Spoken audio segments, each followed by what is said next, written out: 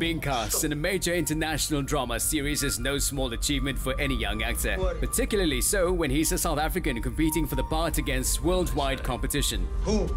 Jovan Muthray played the part of Azam Shah in season 4 of Homeland, adding to an already impressive body of work in television, theatre and film.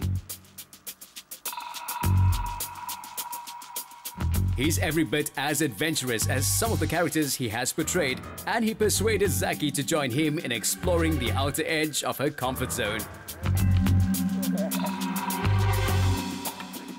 Being an actor means being able to push past your personal limits, and that's what makes it so exciting and thrilling. I must admit, though, that sometimes some other people's thrill thresholds are a lot greater than mine, and I think that might be the case today. Jovan Muthray has invited me out on a limb, and I just hope I don't break any limbs. Romeo, Romeo, wherefore art thou Romeo? Right here, baby. Come down and play with me. I'm coming. So would you call yourself a thrill seeker or an adventurer or both? I'm a little bit of a thrill seeker and a little bit of an adventurer. Speaking of adventure, how about we go on one ourselves? Jovan was already kitted out, but Zaky still needed some protection from gravity. Good day. Can I get you dressed into your harness? Okay. Okay. Lift this to your waist. There you go. This baby goes right here. Cool. Now that you're ready, I'm gonna take you to the zip line. Let's follow me. Theater. Getting to the top of the zip line turned out to be an adventure in itself. You can do it! And it wasn't the kind of sport that encouraged any downward glances. Three, two, one.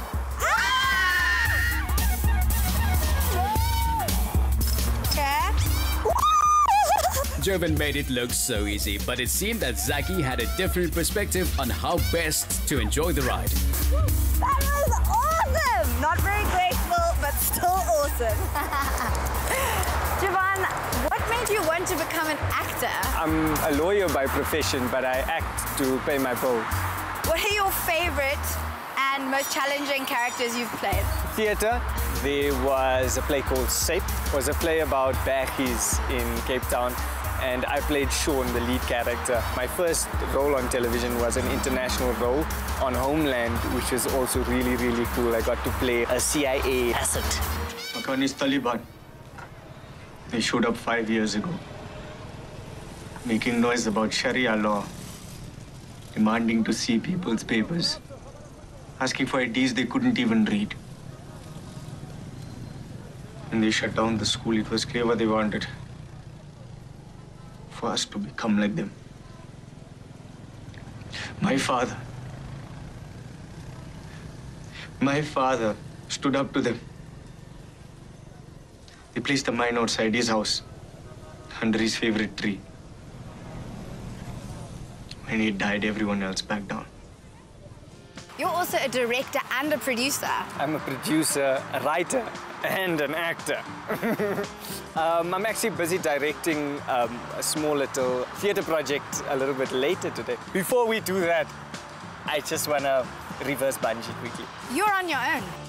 Jovan was about to become a human catapult projectile. Three, two, one. His stomach may have been left behind on the ground, but Jovan certainly kept his head while yo-yoing overhead.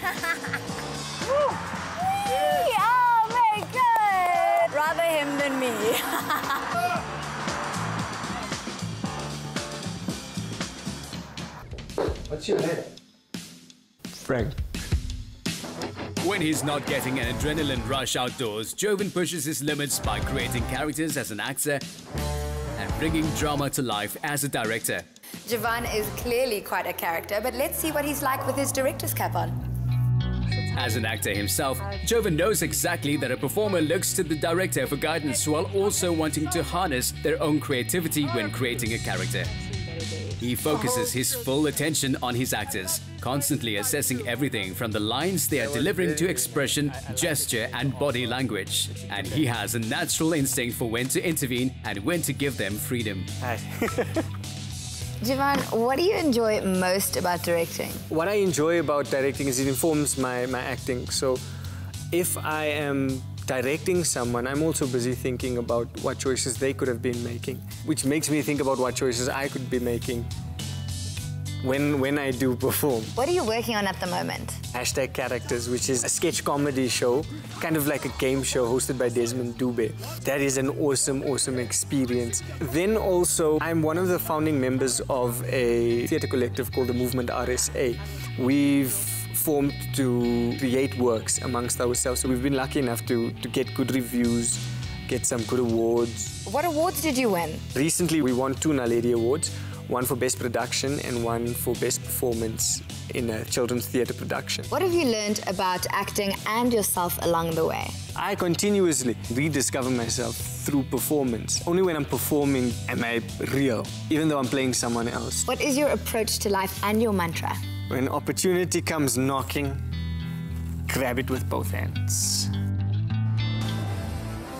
Although still at 20-something, Jovan has already shown a chameleon-like ability to portray characters from every walk of life, while also realizing his vision as a director. Never expecting a sure bet, he generates his own luck through talent, hard work and daring,